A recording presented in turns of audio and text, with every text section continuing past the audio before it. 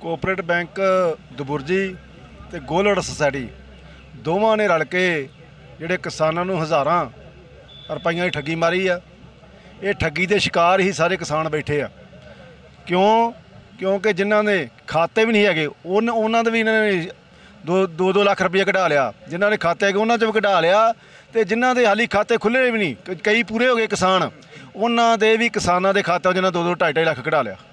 ਇਹਦੇ ਵਿੱਚ ਜਿੰਨਾ ਚੌਥਾ ਦਿਨ ਹੋ ਗਿਆ ਧਰਨਾ ਲੱਗੇ ਨੂੰ ਅਸੀਂ ਵੀ ਚਾਹੁੰਦੇ ਕਿ ਧਰਨਾ ਲੰਮਾ ਚੱਲੇ। ਕਿਉਂਕਿ ਅਸੀਂ ਜੇ ਚ ਬੰਦ ਦਾ ਛੋਟਾ ਧਰਨਾ ਰੱਖਣਾ ਚਾਹੁੰਦੇ ਹਾਂ, ਅਸੀਂ ਹੁਣ ਪੈਸੇ ਕੋਈ ਨਾ ਕੁਝ ਕਰ ਲੈਣਾ ਹੀ ਨਾ।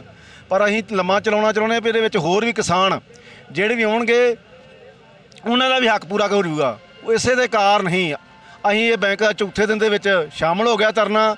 ਇਹਨੂੰ ਲਗਭਗ ਇਹਨੂੰ ਅਸੀਂ ਲੰਮਾ ਖੜਾਂਗੇ ਕਿਉਂਕਿ 3 ਤਰੀਕ ਤੱਕ ਰੀਲਾਂ ਦਾ ਧਰਨਾ ਆ ਜਾਣਾ।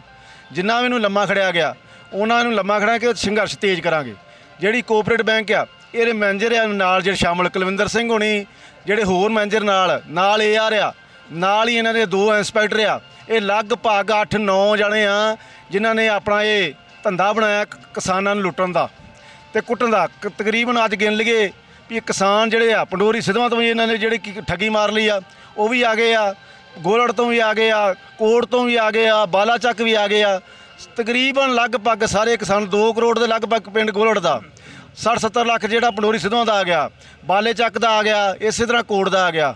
ਇਹਨਾਂ ਲਗਭਗ 3-4 ਕਰੋੜ ਰੁਪਈਆ ਬਾਨਾ ਜਿਹੜੀ ਕੋਆਪਰੇਟਿਵ ਬੈਂਕ ਤੇ ਜਿਹੜੀ ਸੁਸਾਇਟੀ ਇਹਨਾਂ ਨੇ ਰਲ ਕੇ ਜਿਹੜੀ ਠੱਗੀ ਮਾਰੀ